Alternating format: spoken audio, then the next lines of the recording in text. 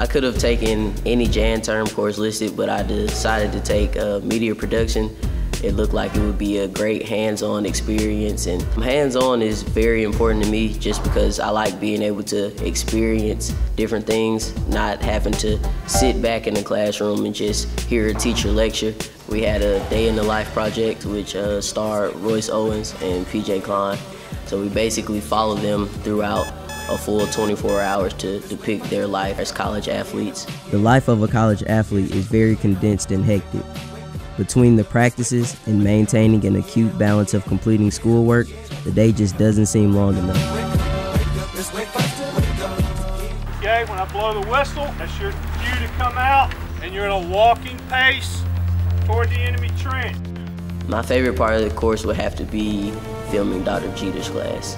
Um, they reenacted the World War with laser tags, so I felt that was pretty fun on both ends, their end and our end, being able to be in the field with them and shoot the action as they're running full speed, trying not to get shot. That that was pretty fun.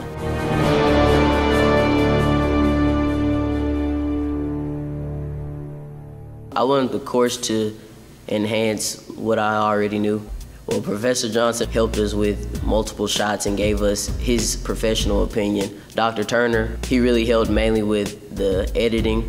Working with Professor Hammock was pretty interesting. I have never been on the audio engineering side of things, so the voiceovers that he helped us with and narration and the cleaning up of audios, that was pretty priceless. Professor Truitt, he was very hands-on. He was relaying things from his master program to us to actually give us a heads up.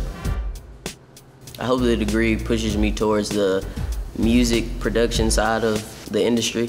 I would like to shoot music videos and take a realm on that first and then eventually expand to actual film production as far as movies and documentaries and things of that nature. My name is Jamal Shakir. I'm a sophomore here at LaGrange College and I'm a DCMF major.